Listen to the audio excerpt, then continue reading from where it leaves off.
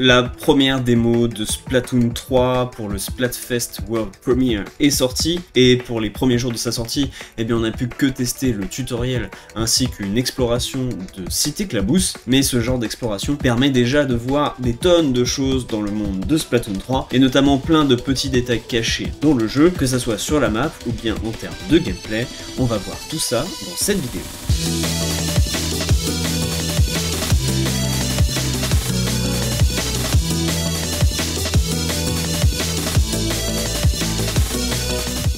Déjà, vous l'avez peut-être remarqué vous-même, la toute première chose que l'on peut noter assez rapidement, c'est que la transformation en calamar ou bien en poulpe a été modifiée entre Splatoon 2 et Splatoon 3. Alors c'est pas hyper visible quand on se transforme euh, simplement de l'état humanoïde à l'état de céphalopode, mais si vous faites ça plusieurs fois et rapidement, et je parle ici de Squidbag bien évidemment, eh bien vous verrez une nette différence entre Splatoon 2 et Splatoon 3. Le Squidbag de Splatoon 3 est maintenant différent car l'animation a changé et on ressemble maintenant à une sorte de boule un petit peu gélatineuse qui bouge sur elle-même alors que dans Splatoon 2 la transformation était plus propre et on voyait bien plus le Squidbag en lui-même Là, c'est comme si Nintendo avait cherché à retirer le Squid Bag du jeu, ou en tout cas à changer quoi il ressemble pour nous donner moins envie d'en refaire. L'autre chose que l'on a pu remarquer aussi, c'est que le salmioche qui nous accompagne dans le tuto est aussi présent dans Cité Clabousse, mais il change en fait d'endroit à chaque fois que vous vous connectez ou à chaque fois que vous rentrez dans un magasin puis que vous ressortez. Sa position dans la ville aura changé. Il en a plusieurs, j'en ai repéré 7. Il y a d'abord sa place un petit peu principale à côté du magasin de chaussures. Il a aussi une place privilégiée sur un pylône à côté du Calypso, mais on peut aussi le voir de temps en temps sur une plaque d'égout au milieu de la rue, ou bien sur un muret à côté de la plaque d'égout qui nous mène au mode solo. Parfois il est à côté de Tipeee en train de dormir, et parfois il fait aussi un petit tour sur les hauteurs de la ville, on peut l'apercevoir de loin et aller voir de plus près ce qu'il fait, on dirait qu'il pique un somme au soleil. La dernière position que j'ai pu remarquer, c'est que parfois il est en fait en bas dans cette place là, à côté des buissons, mais j'ai pu le voir qu'une seule fois ici, comme si ce spot était moins probable, il y a peut-être aussi d'ailleurs d'autres spots que j'aurais ratés, dites-le moi en commentaire si c'est le cas. Depuis qu'on a accès à cette démo, ça fait maintenant plusieurs heures, on s'est rendu compte que toutes les deux heures, on a un message qui nous annonce que la rotation des maps a changé, alors que pourtant dans cette démo, pour le moment, on n'a pas accès au match, mais le jeu garde quand même cette indication. Toutes les deux heures, il nous indique que les maps ont changé, même si en fait pas vraiment quand on regarde. Alors à quoi ça sert, on sait pas trop. Une chose est sûre, c'est que ce message à un moment nous a fait recharger la ville, et quand elle nous est à nouveau apparue, sa météo avait changé, comme si on était maintenant à un horaire de crépuscule et que la nuit commençait à tomber. Probablement le signe que l'on s'approche petit à petit du Splatfest. Peut-être que d'ici quelques heures, la luminosité aura encore changé. C'est pas impossible.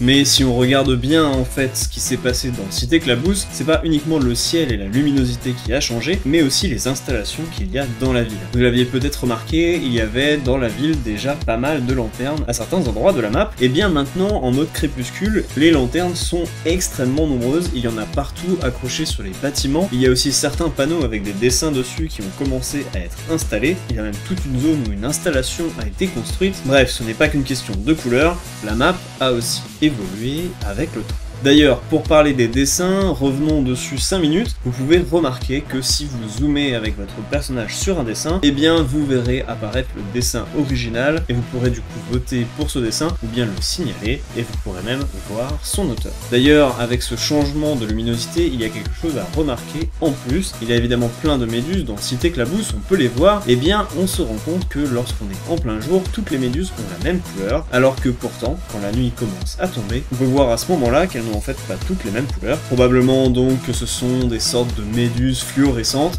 mais qui ne brillent pas avec la même tonalité. Au tout début de la démo, on a accès à un tutoriel, et dans ce tutoriel, on peut remarquer plusieurs choses. Déjà, vous vous êtes peut-être fait la main sur la vrille calamar et sur la déferlante calamar, deux techniques qui sont encore pas faciles à maîtriser quand on n'est pas habitué. Vous avez peut-être vu que d'ailleurs cette vrille calamar est faisable également depuis un mur, ce qui est assez pratique, mais la deuxième chose qu'on peut remarquer, c'est qu'à partir de cette connaissance justement, eh bien on peut avoir accès à un raccourci dans le tutoriel. Juste après que vous ayez récupéré le liquidateur junior, Vous pouvez en fait faire demi-tour, regarder derrière vous, et vous verrez qu'il y a des panneaux en bois qui sont ancrables. Le panneau du bas déjà nous permet de grimper dessus et de faire une vraie calamar, un petit peu tricky, mais qui nous permet d'atterrir sur le mur à côté et de skipper une grande partie du tutoriel grâce à ça. Notez que si vous avez un peu de mal à faire la vraie calamar depuis cette planche de bois, eh bien vous pouvez accéder à la planche de bois au-dessus grâce à une déferlante calamar et faire ensuite la vraie calamar à partir de celle du dessus. Ça sera plus simple, même s'il y a un petit peu de perte de temps. Probablement que les speedrunners auront plutôt intérêt à apprendre à le faire depuis la planche du bas. Entre le tutoriel et Cité Clabousse, on monte en fait dans un train, un train qu'on avait d'ailleurs vu dans la toute première bande-annonce de Splatoon 3. Et eh bien, à l'époque, il y avait une petite musique d'attente dans ce train. Qui aujourd'hui dans la démo a changé, car en effet, si on tend l'oreille, on peut entendre déjà la musique des Tris d'Enfer, emblématique des Splatfest maintenant, bref, un petit ajout sympa qui nous met déjà dans l'ambiance.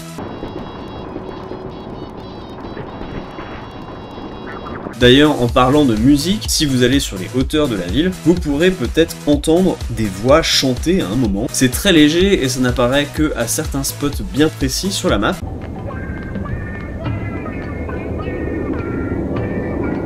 C'est à confirmer parce que je maîtrise pas encore très bien les musiques de Splatoon 3, mais j'ai vu sur internet des gens dire qu'il s'agissait en fait des tris d'enfer qu'on pouvait entendre s'entraîner avant le Splatfest. On continue avec l'exploration de la ville et on peut apercevoir ici une des toutes premières grilles de Splatoon 3 à travers laquelle on ne peut pas passer en calamar. Il y a effectivement ici une boîte grillagée et si vous vous mettez en calamar ou en poulpe dessus, eh bien votre personnage ne passera pas à travers. Alors évidemment c'est voulu par les développeurs, hein. ça fait partie du décor mais c'est quand même intéressant à remarquer qu'il y a certaines grilles dans le jeu à travers lesquelles on ne peut pas passer, probablement qu'on n'aura pas ça en match en ligne. En se baladant dans les rues et surtout dans les allées de la ville, on peut voir qu'à côté du bâtiment de Salmon Run, il y a une petite allée dans laquelle on voit des gants et des bottes de Salmon Run en train de sécher. Probablement que ce n'est pas Monsieur Ours qui vient étendre son linge, sinon j'imagine que tout le monde connaîtrait son visage. Du coup j'en conclus que ce sont les Inklings eux-mêmes qui, après leur mission, viennent nettoyer et étendre leurs affaires afin qu'elles soient prêtes pour la prochaine mission. D'ailleurs, on peut aussi y voir une poêle avec des arêtes de poisson à côté, donc c'est qu'il y a vraiment quelqu'un qui mange des salmonoïdes dans Cité Clabousse. Pas loin de là, on peut aller voir Typique, et si on regarde d'un certain angle, on peut voir en fait son écran de téléphone et on remarque surtout une chose, c'est que la vitre de son écran est cassée. Ce ne sera pas la première personne à avoir cassé son smartphone. En continuant l'exploration dans la grande rue de la ville, on peut remarquer plusieurs choses. Déjà que chez Cartouche, on peut regarder à travers la fenêtre et voir ce qu'il y a à l'intérieur. Et en faisant ça, on se rend compte qu'il y a en fait un arc que l'on ne connaît pas. Quand on va à l'intérieur du magasin, on a la confirmation, on voit à quoi il ressemble. Et en fait, je peux vous le dire, c'est un arc qui n'a pas encore été présenté par Nintendo, mais qui a déjà fait son apparition durant certaines previews. Je vous en parlais dans ma vidéo la dernière fois. En Salmon Run, quand les journalistes et les influenceurs testaient le jeu, et cette arme, cette espèce d'arc miniature, pouvait faire son apparition. Et du coup, elle a été vue sur internet depuis quelques jours et c'est intéressant de voir qu'elle est déjà présente chez Cartouche avant même que le jeu ait commencé. D'ailleurs en parlant de chez Cartouche, vous voyez ce tableau là, juste là? Eh bien c'est l'image d'un des parchemins de Splatoon 1, celui qui nous présente l'escadron Espadon pour la première fois et sur lequel il y a le grand-père de Cartouche sur la photo, c'est donc un petit souvenir que Cartouche garde de son grand-père. Si on va de l'autre côté de la rue cette fois-ci et qu'on regarde les boutiques, on peut se rendre compte que une des boutiques a l'air de vendre des figurines et pas n'importe quelle figurine car parmi elles, on peut y deviner des figurines de Ayo et Oli. Alors c'est très pixelisé, hein, faut vraiment le deviner à partir des couleurs, mais je pense que c'est assez évident et c'est le genre de détail qu'on aime bien. Toujours dans cette même rue, décidément, on a le magasin Coolipso que maintenant vous commencez à connaître. Et sur la devanture, il y a en fait des signatures. Et ce sont en fait toutes les signatures de tous les chanteurs de l'univers de Splatoon. Quelqu'un sur Twitter s'est amusé à faire la liste de toutes les signatures et à essayer de retrouver à qui ça pourrait appartenir. C'est hyper intéressant. Et évidemment, ce n'est pas sans raison qu'il y ait tout ça sur la devanture. C'est parce que Monia, qui tient le magasin temporairement, faisait elle-même partie d'un groupe sur Splatoon 1 et 2. Et probablement donc elle est en contact avec tous les autres groupes de Splatoon et que c'est comme ça qu'ils sont tous venus signer sa devanture.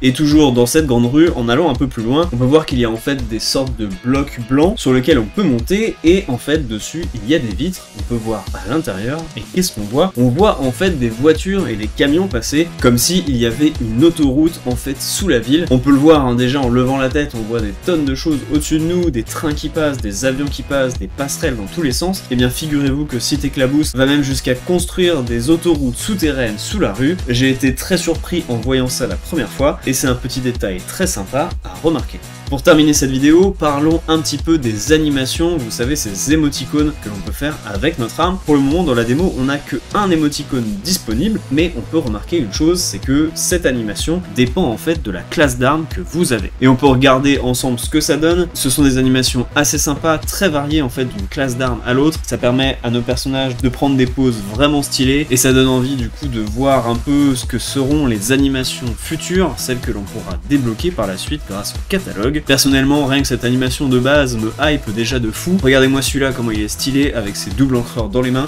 J'ai vraiment trop hâte de voir la suite. Dites-moi en commentaire, vous, pour quelle classe d'armes votre animation est la préférée. Ça m'intéresse de savoir. Voilà, c'est tout pour cette vidéo. Vous l'avez vu, plein de petits détails à remarquer dans cette démo. Et ce n'est pas fini, je pense qu'il y en a d'autres qui viendront. Il y a aussi pas mal de glitches qui ont été découverts. Je pense que je ferai une petite vidéo dédiée, mais plutôt après le Splatfest que avant, car il y aura probablement d'autres bugs et d'autres glitches qui apparaîtront durant les matchs. Du coup, on se retrouvera très vite. J'espère que cette vidéo vous a plu. N'hésitez pas à vous abonner si Splatoon 3 vous intéresse. C'était Evil Squid. Je vous dis à bientôt dans une prochaine vidéo.